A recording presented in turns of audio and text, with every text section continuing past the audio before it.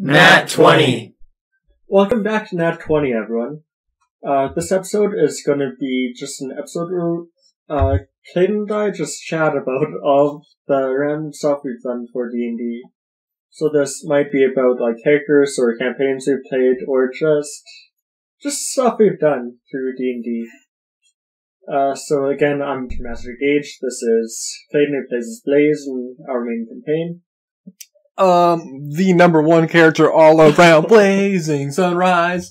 No one ever calls him by his full name because no one needs to call him by his full name because no one deserves to call him by his full name. Uh, so we weren't able to have everyone together to record like a normal de- uh, deal with demon session, so this will just replace the session if we don't have the uh, episodes for our uploads. So Basically, we're creating filler arc. Exactly. Anime 101. When in doubt, make random bullshit to keep people entertained until we can come up with a real story. Uh, so what would you like to talk about, Drake? Um, specific? Well, we talked about the history of Telthania Yeah. in two episodes. Uh, we've covered all that. We got the basics. We did talk about our favorite D and D moments, and we barely, really, barely scratched the surface. Yeah, there's a lot more we could probably talk about. and there's just two of us talking. Yeah. We had everyone else here. Show up to the sessions, guys. uh, uh, we talked about a lot of stuff, but um, I mean, we could talk about that again. I mean, what is some of your favorites? I mean, I know for the most part, when it comes to me, you've always been the DM. Yeah. I've DM'd for you like maybe twice. Yeah. I mean, a couple times where we played together, especially with uh, Tony's campaign where you play Airdron or Sebastian's where you play O'Malley. But for the most part, it's been you in charge everything. Yeah. Uh, so probably one of my favorite DM moments in one of the other quests we did, which was Deeds of Drow, was pr- well, not actually Deeds of Drow, but uh, Curse of Strahd, because it went from Deeds of Drow to Curse of Strahd. Yeah. But one of my favorite part, uh, sessions for that was we were the crew went to the haunted house. I forget the name of the haunted house, but Can't remember, but it was a house that was that That's really was. Yeah. It was owned by a couple who worshipped Strahd like a deity. Yeah, and then there were two like child ghosts that would go around the town every once in a while and throughout the home. Mm-hmm. Yeah. We encountered the children Yeah. in the town. Uh, we didn't know they were ghosts at the time, Yeah. so we went to this house as they requested. Uh, I was playing Darestrix, the Lizard Folk Barbarian. Varys was playing, uh, sorry, Kyler was playing Varys, the, uh, rogue, serial killer, uh, drow. Uh, Zach, our beloved Zach, was playing Kava, the white dragonborn, uh, warlock. Uh, Brad was playing Harlow, the bard. And I think, was Taylor? Oh, no. Taylor Taylor wasn't there. No.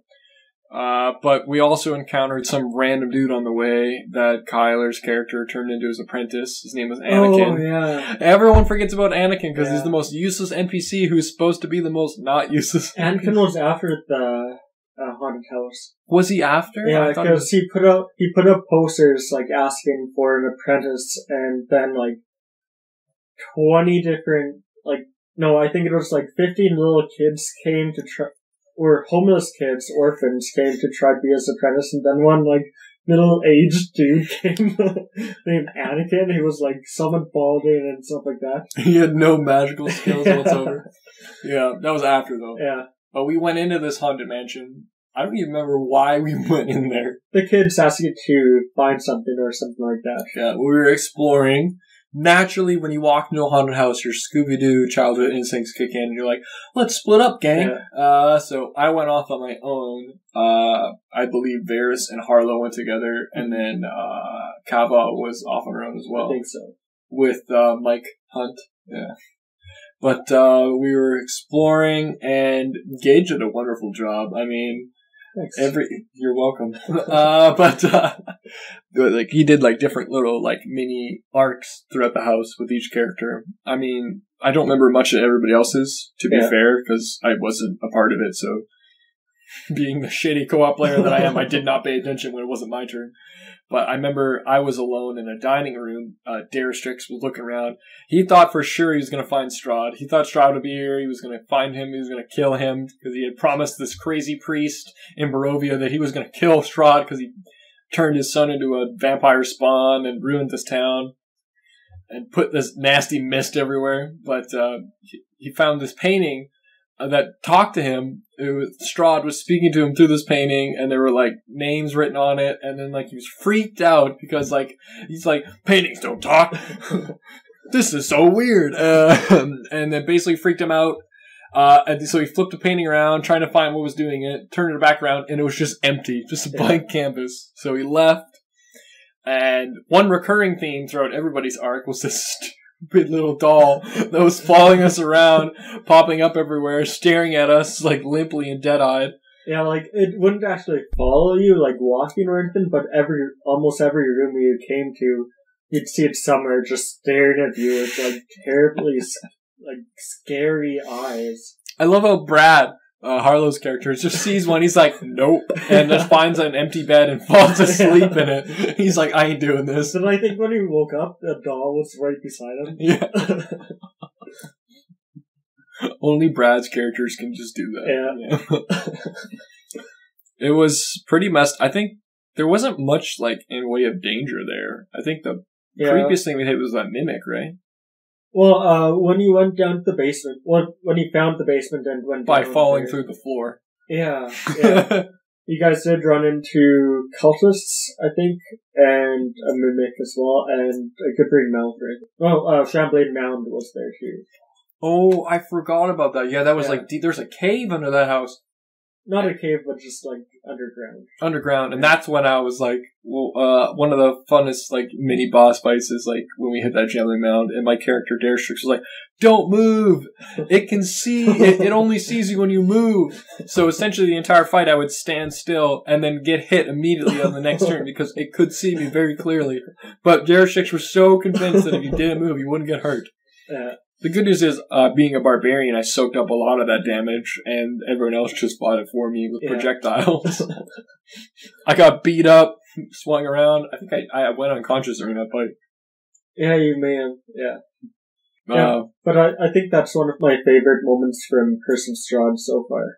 yeah. Kirstrad has a few good moments. Yeah. Well, um, thinking about it though, like one of the least favorite moments is when we're in that circle, uh, that like field fighting all those druids, Oh, and then yeah. Strahd rides in on his nightmare. Yeah. and everything just goes to shit. Uh, gets charmed to fight against his allies, and eventually we're all unconscious except for Kyler's character Varys, who runs away. But not before grabbing Anakin and run and The useless apprentice. He ditched us. Yeah. That was brutal. We were one druid away from stopping that little circle, like Yeah. cult circle. Which is to caught. Well, actually, I won't say because that's spoilers for Curse of Strahd, so never mind. All I know is that I was so disappointed. yeah, Straw, Curse of Strahd is a depressing story, though. it so is. Yeah, things usually go bad for everybody. really good, but depressing. Yeah. Oh man, Curse of Strahd's been really good. Another one of my campaigns I've really enjoyed. We barely touched the surface with Yeah. it, but that is uh, Sebastian, who plays uh, He uh plays Farron. Farron. Farron. Oh, Farron Worstrow. Yeah, the not human air quotes sorcerer. Uh, he actually made up a one shot for us that has just been balls the wall, like just great. Yeah. And Uh, it turned into like more than one shot. We've done like two sessions, but they've been really long Yeah. sessions. Um, I play Icky, the Eric Aarakocra Bard. Gage uh, plays Omalium, the undead paladin Firbolg. Yeah. Uh, Duncan plays a character we no one can remember. Dragonborn, whose name we don't remember, what class we don't remember. And then Zach plays Verbog, the half. Sorry, Duncan. yeah, Zach plays Verbog the butcher, a half orc barbarian. But uh, small crew, small crew. Uh, but we're all high level characters, and it's just been so fun to play a bard at like level eleven. Yeah. His stats, Icky's stats, are out of this world. Like I feel like I'm cheating half the time. And just to interject, the only reason why Tony isn't a part of this camp, like these this one off is just It's because we hate him. it. It's because everyone in the group hates Tony.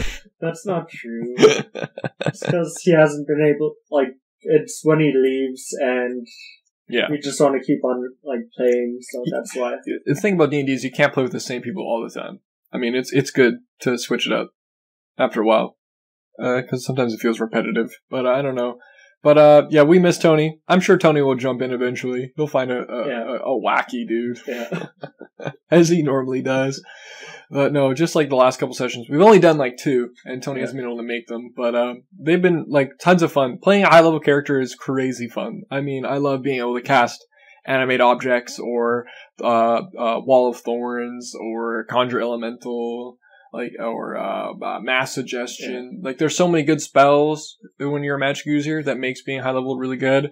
Or if you're a barbarian like Zach, or a paladin like Gage, like Yeah. you do insane so much damage. at one time. Like that. Uh, tell them about that Minotaur. Yeah, so we were fighting a Minotaur who had like a hundred some hit points, and uh, O'Malion, the skeleton paladin, decided to just do use his two attacks to hit him with Divine Smite twice and Searing Smite as well, and did like 90 damage in one turn, and almost killed him. And then Zach's character, Ver, uh, Verbolg, Verbog. Verbolg, Verbolg, No, Verbog. Verbolg.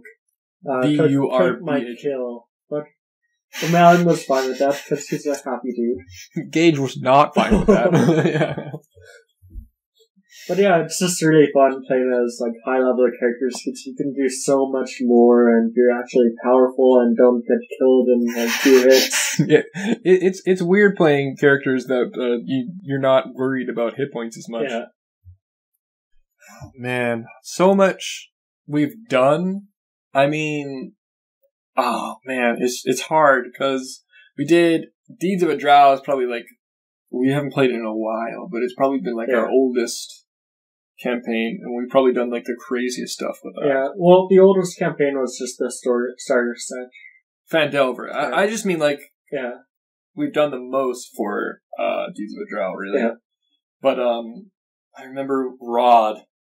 Oh, Rod, tell them about Rod, Gage. Your biggest mistake. Yeah. Okay, so after our adventures, we're able to clear uh, the first big bad guy's lair or home or whatever.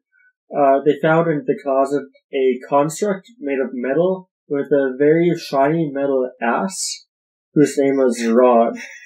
Completely different from Bender from Futurama. Like, in no way is the same character and the party convinced him to come with them on their adventures.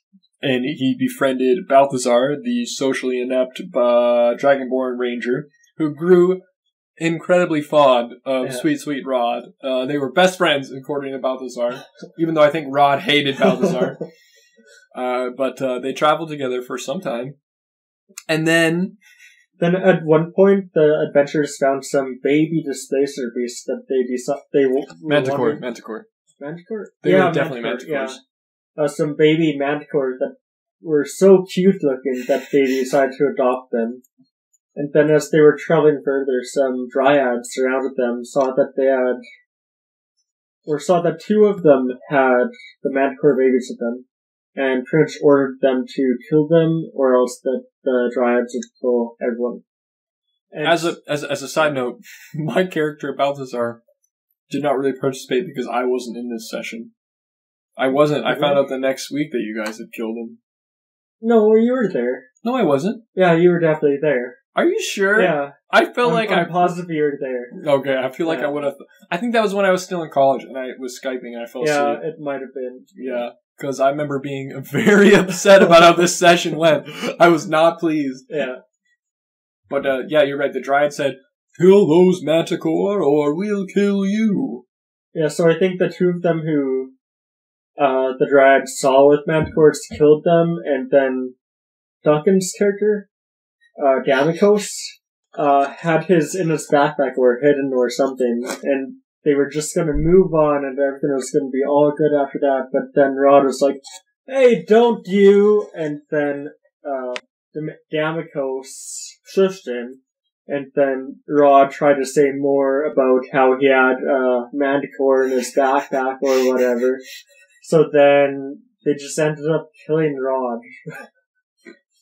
Not the Dryads. Yeah, they killed. Yeah, they killed Rod instead of the Dryads just because they were pissed off at Rod trying to rat them out. Balthazar's friends yeah, killed his best friend Rod. yeah, I remember Balthazar was in horrible grief. Not even because of that, because afterwards, Varys killed his Pan- Panther oh yeah, yeah. because they had gotten into a small scuffle, inter-team scuffle, which involved everyone ganging up on Balthazar. and Balthazar died for a few moments before he was brought back to life. Yeah. And then while he was dead, they killed his panther. And now, Varys wears his pet panther's pelt as a coat every day that Balthazar have to see. You're unconscious, not dead. Okay, well, that's close to dead get. Oh, dead inside. yeah. King betrays you like this. Eventually, I got a new pet panther because that's the Yeah. joy of being a ranger. But Yeah. uh, yeah, yeah, no. Uh, Balthazar is probably my saddest character ever made. Poor guy, he never gets anything he wants. yeah. Life just goes south always. Should have stayed in the woods. well, you were kidnapped from the woods, so you didn't have, really have a choice. Well, he That- wasn't necessarily how. kidnapped. He he eventually, after years being on his own, Yeah. uh, people who went way off the trail ran into him. Yeah, I guess, and they yeah. led him back to Yeah. society. Yeah. Yeah. it wasn't that he was kidnapped. He, Well, you were eventually kidnapped by Eula, the like main enemy in yeah, yeah, I got dragged in, and that's how the whole party got met together. We were in that jail Yeah. cell, and then Oculus the suspicious. uh, what's his real name? Oculus the, Oculus the Prolong. the prologue. But to us, Oculus the suspicious because he was the most suspicious dude we've ever met. But he saved us, and uh, that's how it all started. Basically, began our little campaign. Balthazar trusted him immediately because, I mean, he's gotta be our friend if he's gonna unlock the cage. Yeah. man, that's crazy. I mean, oh man, I'm trying to think of like other stuff we've done. I mean, it's hard. There's so many good sessions we've had. Yeah. One of the sessions that I found most just outlandish and just was bewildered at was one where the adventurers were able to go into like to the bottom of, of a lake where some mer people lived Oh no! and they were asked to kill some pirates who were coming through a portal uh, that led to the Eastern Ocean, I think, that were killing a bunch of merfolk and taking them captive as slaves and whatnot. Mhm.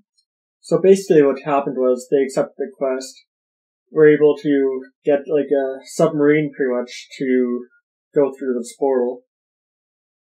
They killed the pirates, then came back, got a reward, and the, uh, Varys wanted a wanted the ship as a reward, but be, because it was so expensive and he was the only one who wanted it, or something like that. Him and Harlow were the only two that wanted it. No, I think it was him and uh, Cabba, Demarcus. Oh, Damocos? Demarcus.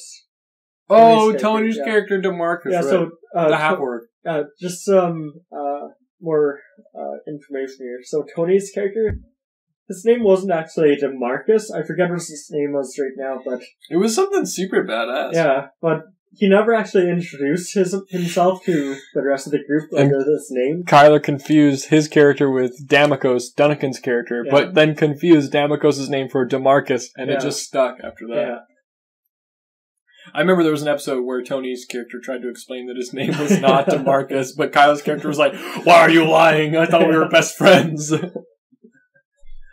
yeah. So back in this like lake episode, uh, Kyler was annoyed at not getting the ship, so uh, he then tried to go to a store to buy some stuff, and the store the shopkeeper wouldn't go down on the prices, so he got pissed at her.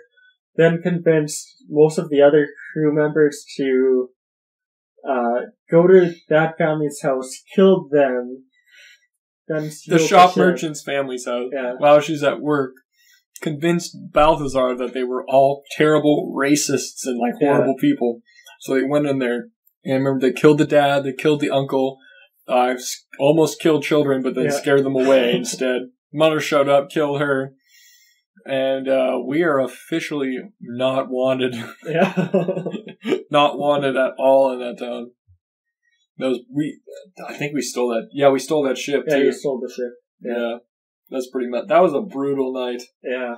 I remember Gage was like, I don't think Gage really uh, like enjoyed role playing that. I enjoyed it. I just was not expecting that at all to happen. All because this this lady would not. Yeah. Balthazar didn't like her either, to be honest, because she wouldn't sell him something he couldn't remember. But I think he wanted enchantment sim. She said she didn't do that, and that Yeah. really pissed him off. but uh, that besides the point is like I don't know why that was the choice. I remember Tony and uh, Duncan's characters were like, "What are you doing? Yeah. What do you mean you killed a family? what do you mean? Fuck!" and we Yeah. ended up stealing the ship, almost killing some guards on the way too. But the cool thing is we got an, uh, a ship that can go underwater. yeah. How dope is that, right? Which almost sunk a couple of times in the next episode or two, I think. Because we didn't know how to fucking take care of it. Then we're turned into Bork Norks. Yeah. Yeah, that was, the, that was the same ship. Yeah, same Yeah, ship that we yeah. set on fire several times in our were dwarf forms.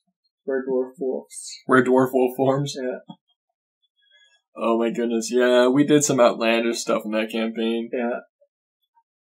Jeez, oh man, another really good campaign that we've been a part of is uh, uh oh, which one am I thinking of?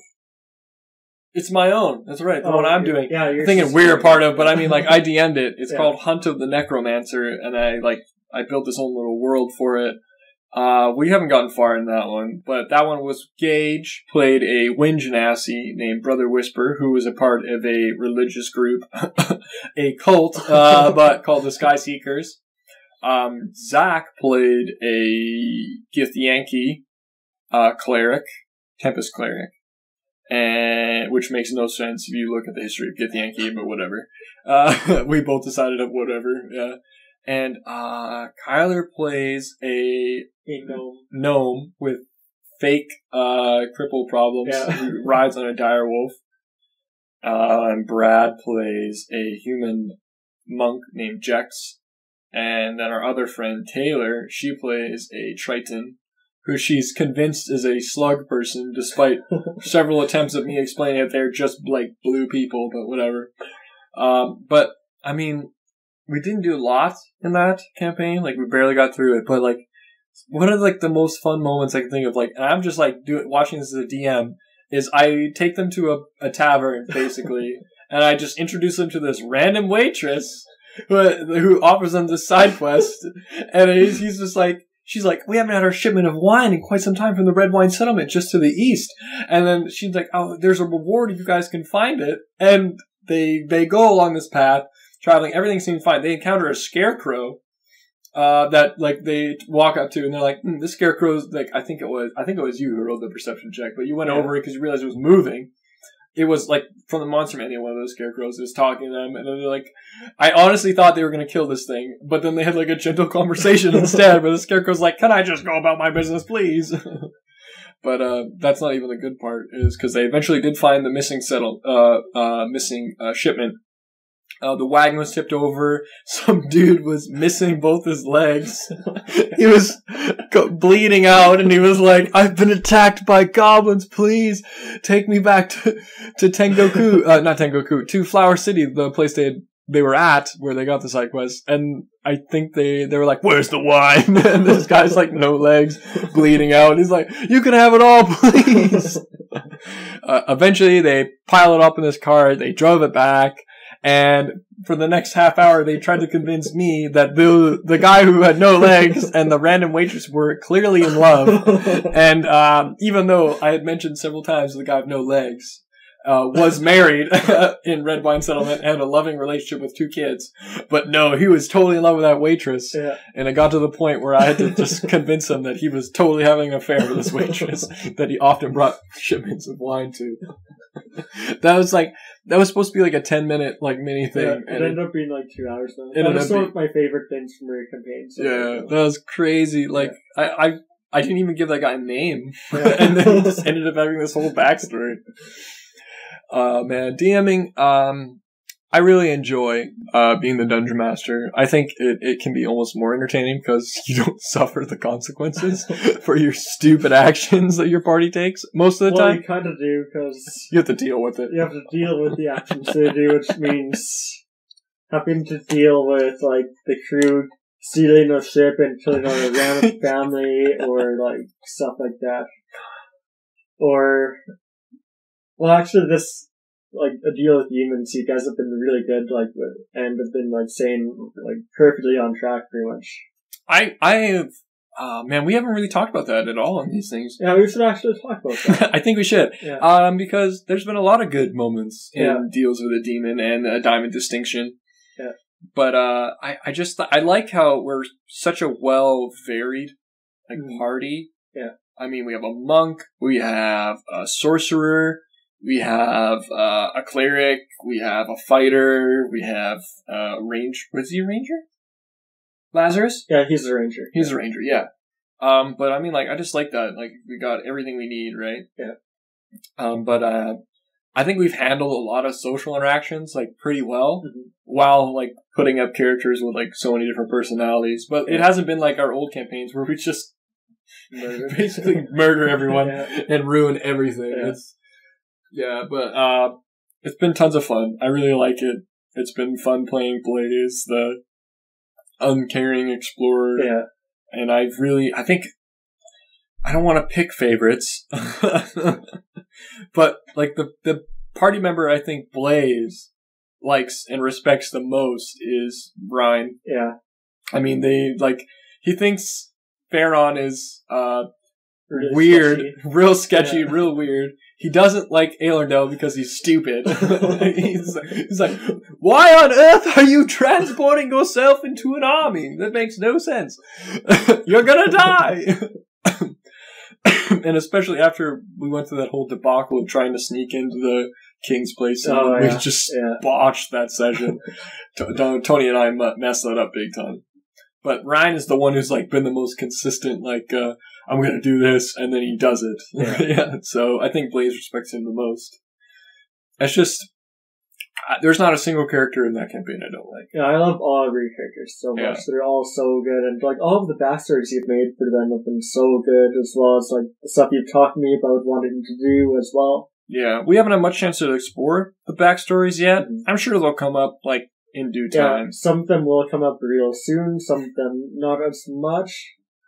Uh, but I can definitely tell that Farron, uh, his time is coming. I Yeah. mean, there's been hints. We were on that ship, traveling from like desert ship to desert ship, and Yeah. like there was a moment where we kind of brushed on his past, Yeah, like and he- then later we brushed up on it again. Yeah, like on the ships, you guys, uh, he recognized one, of the owners of the ship as someone who, uh, helped him out on his journey Mm-hmm. Yeah, And then he saw like a devil looking dude in one of the previous, one of, one of the, on like, in the episode like 13 or something. that only he could see, right? That was talk that Yeah. smiled at him. Yeah. And like gave the number, like, him the num- number four. Yeah, it's it, it's it, it's it's he's a cool character. I can tell Yeah. that he's split personality. Yeah. that's my theory. Like I think that a lot of people, if they're watching, they just mm-hmm. Uh, we don't know anything about Farron, Yeah. character and out of character. I my theory is that he has split personality disorder. Uh, and I'm 100% on board with the theory that he is a human. like, I definitely think that's a thing. Yeah. Uh, mostly because of that weird, awkward silence when when Zix Krieger called him, Zix Krager called him a human. Yeah. But uh, I think he has multiple personalities because there's that moment where he attacked Aelerndell trying to steal that necklace, and other times he's like, "I don't want to fight anybody at all." Yeah. So I think it's probably like Sebastian comes up with like really cool different characters. Yeah, he has a really good character and backstory for this, I think. Yeah. And then um, I really liked Lazarus. He just amuses me. Yeah. I, I love like I remember Zach like offhandedly mentioning like I'm gonna make him superstitious, but now it's his whole character, and I really think it's like a good.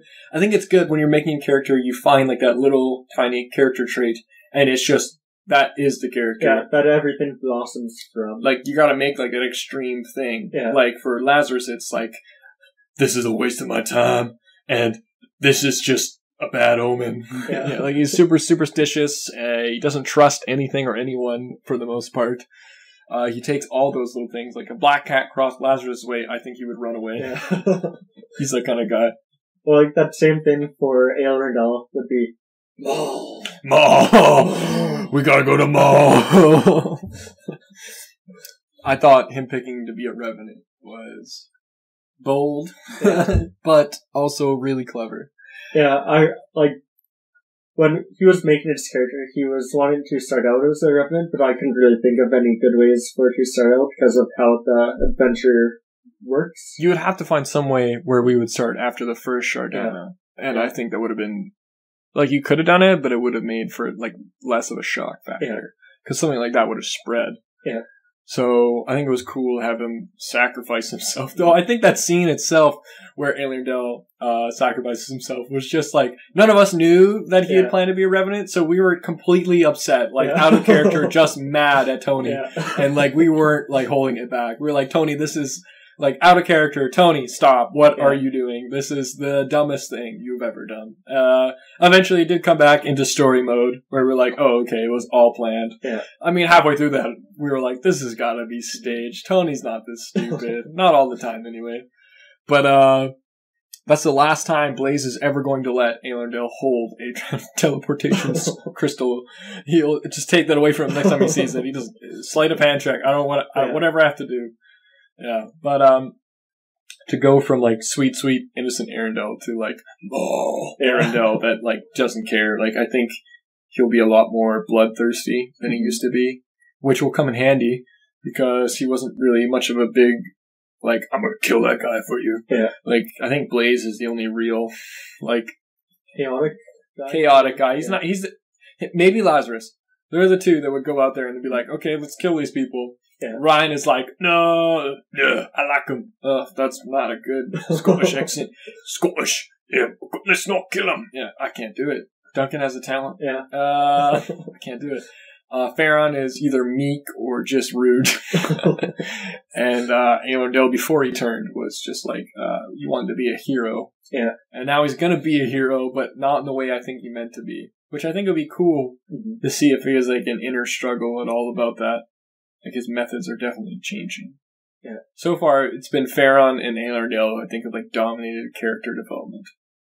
At the beginning. Yeah, I think so. I, I I mean, like it's natural. Like eventually, it'll transition to Yeah. like some. Now that Torian is in it, I think like Blaze might have some history Yeah. coming up because they're old friends.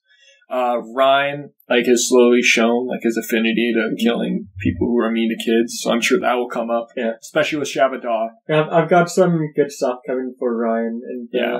And next then few episodes. Lazarus will have his moment, and then who knows? Maybe we'll give Stockholm Oh, our wolf a yeah. backstory, uh, unless Tony kills that dog too.